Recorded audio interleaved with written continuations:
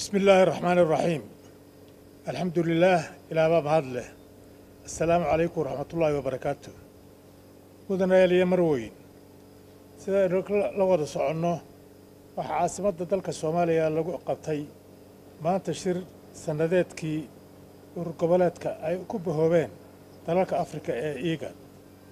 Ugu horrayn waannu soo dhoweynaynaa in shirkaasi ka dhaco magaalada muqdisho waxaanu u aragnaa tallaabo geesinimo leh oo hore loo qaaday.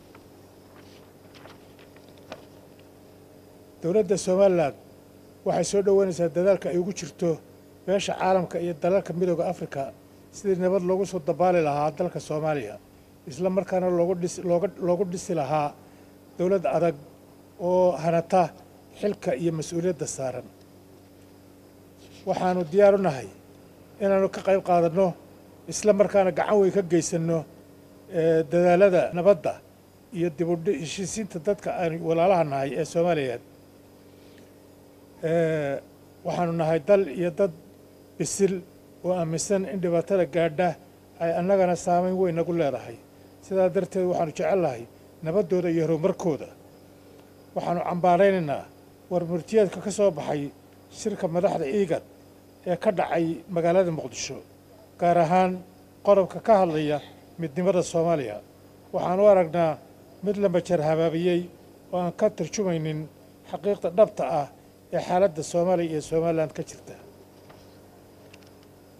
Waxaanu dunida u caddaynaynaa in somalilan tahay dal madax bannaan oo aan ka mid ahayn maamul goboleedyada ku midoomay nidaamka federaalka dowladda soomaaliya ee looga taliyay magaalada muqdisho waxaan u caddaynaynaa beesha caalamka.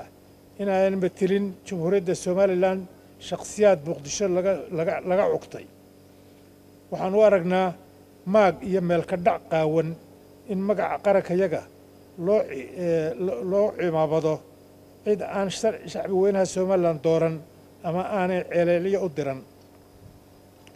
Ummadda somalilan waxaa matila oo keliya ka mas'uula madax ku timid doorasho xor iyo xalaalah xukuumad iyo baarlamaanba mudanayaal iyo marwooyin waxaan u caddaynayaa dalalka midooda afrika midooda yurub urur goboleedka iigad maraykanka jamaacadda carabta ururka islaamka ah iyo dhammaan dalalka ku midoobay ee jamciyadda qurumaha midoobay.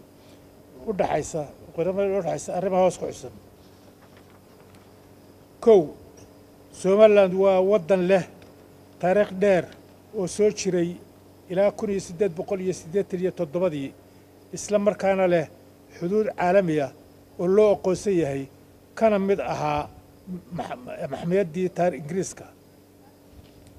Laba somalilan waxay ahayd dal gaar ah oo xornimadiisii ka qaatay lix iyo labaatankii juun kun iyo sagaal iyo lixdankii dowladda ingiriiska. Wuxuu ku biiray lana midoobay kowdii juulaay dalkii soomaaliya ee talyaanigu gubaysan jiray saddex somalilan waa waddan isaga oo xora waddan kale oo xora ku biiray ma aha markii ugu horreysay ee laba waddan oo qaaradda afrika ka mid ahi isku darsadeen haddana kala noqdeen. Masar iyo suuriya waxay isku darsadeen kun iyo sagaal boqol iyo sideed konton iyo sideeddii waxayna kala noqdeen kun iyo sagaal boqol iyo koob iyo lixdankii. French suudan iyo senegal way isku darsadeen kun iyo sagaal boqol iyo lixdankii waxayna kala noqdeen kun iyo sagaal boqol iyo lixdankii. Gambiya iyo senegal way isku darsadeen kun iyo sagaal boqol iyo koob iyo siddeetankii. Waxayna kala noqdeen kun iyo sagaal boqol iyo siddeetankii iyo sagaal. Shacweynaha somalilan waxay si cad boqolkiiba shan iyo shan konton iyo saddex ku diideen juun kun iyo sagaal boqol iyo lixdankii ko lixdankii iyo kowdii. Aftidii loo qaaday dastoorkii cusbaa ee loo sameeyey ee dalkii lagu midoobay ee la magac baxay jamhuuriyadda soomaaliya ee haatan meesha ka baxday. Shan muddo yar kadib markii shacbiga somalilan garwaaqsadeen inay ku hungoobeen midnimadii waxay saraakiishii ka soo jeeday gobollada waqooyi sameeyeen disembar kun iyo sagaal boqol iyo koob iyo lixdankii inqilaab dhicisoobay kaasoo ujeeddadiisu ahayd inay dib u soo celiyaan xornimadii somalilan ee luntay lix somalilan rubcu qarni.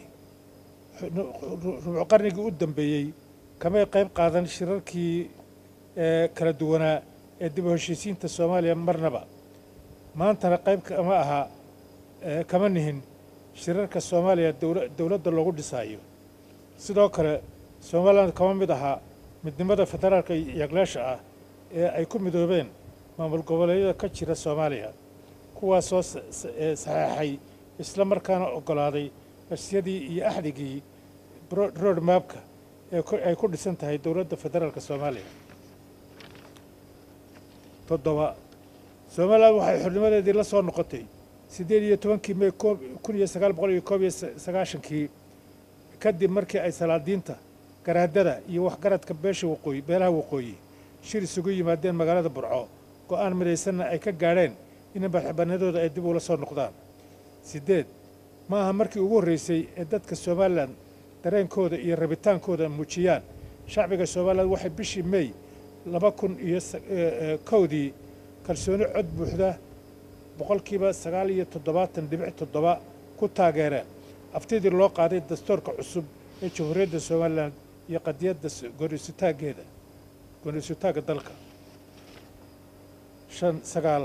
Somalilan waa dal buuxiyey dhammaan shuruudihii loo baahnaa waddan madax bannaan oo leh dowlad xukuumad iyo barlamaan iyo dimuqraadiyad la doortay oo dimuqraadiyad lagu doortay xuduud sugan oo caalami ah cumlad iyo calan u gaara.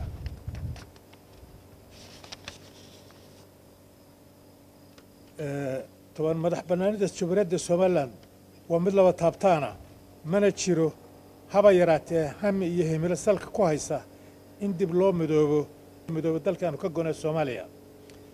Arrimahani waxay daliil cad u yihiin in jiritaanka somalilan aanay ahayn wax ku dhisan riyo iyo dhalanteed balse ay tahay mid ka tarjumaysa xaqiiqda dhabta ah iyo go'aanka shacbi weynaha somalilan qaatay.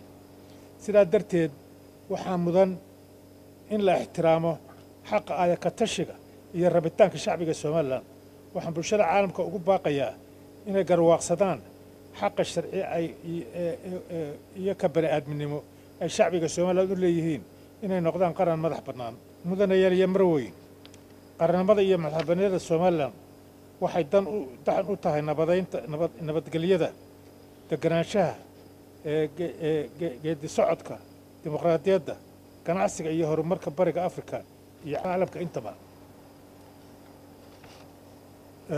madax urureedka gobolka igad iyo dalalka midooda afrika intoodaba kaleba waxaan ka codsanaynaa inay qadiyadda somalilan miiska keenaan isla markaana ajadayaasha shirarka dambe ku darsadaan.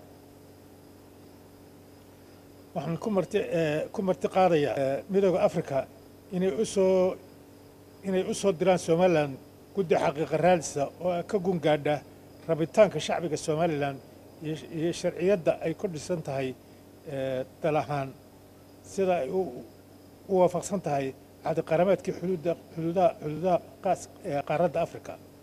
Mudane yariya marweyn ugu dambeyn waxaan shacbweynaha somalilan ugu baaqayaa muddo iyo gudo iyo dibadba meel kastoo ay joogaan inay meel uga soo wada jeestaan ilaalinta qarannimadooda iyo qadiyaddooda inay rabitaankooda ku muujiyaan cod dheer iyo cudud midaysan وبالله التوفيق.